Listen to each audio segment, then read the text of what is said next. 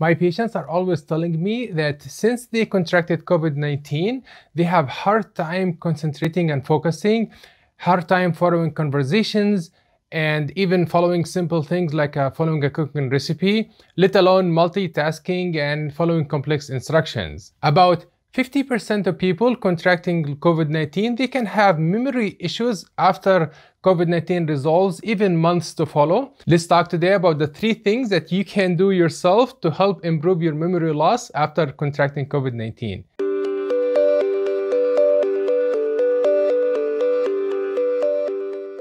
Memory loss after contracting COVID-19 happens due to multiple issues and factors.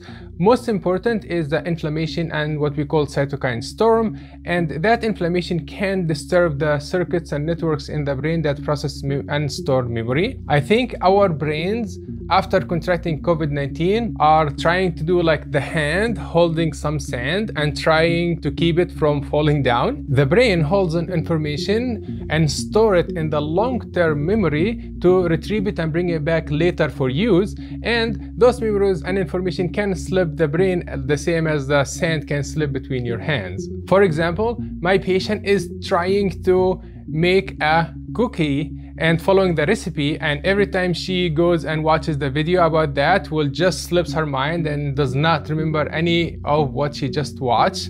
And the same happens to conversation and other things. Can you relate to that in your daily life? Please let me know down in the comments what is your experience has been going so far. And now let's talk about treatment. I will give you three tips that you can follow that hopefully you can help your memory loss and get your memory back and of course i want you to ask your own doctor before trying any of these recommendations and tips.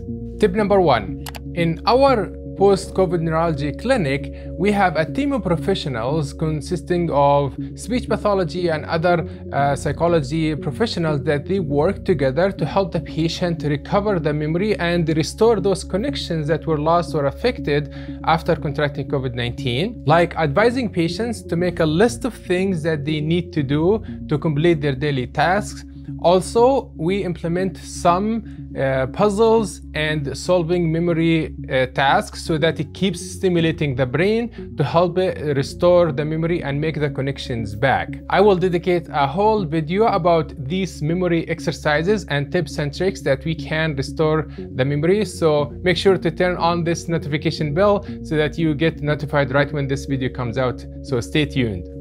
Tip number two, most importantly, you want to treat any underlying medical conditions such as controlling your high blood pressure, controlling your diabetes, cholesterol, and all of uh, any other medical condition to provide a healthy healing environment for the brain to recover. Tip number three, as we always say, a key to recovery is a healthy lifestyle and modifications. So you want to keep enough sleep with sleeping at least eight hours. You want to get regular exercise maybe uh, 30 minutes of walking every day or five times a week. You want to eat a balanced and healthy food and limit uh, stress as much as possible. I know sometimes it's difficult to limit stress, but you know, like do your best in limiting any stressful situation you're getting into.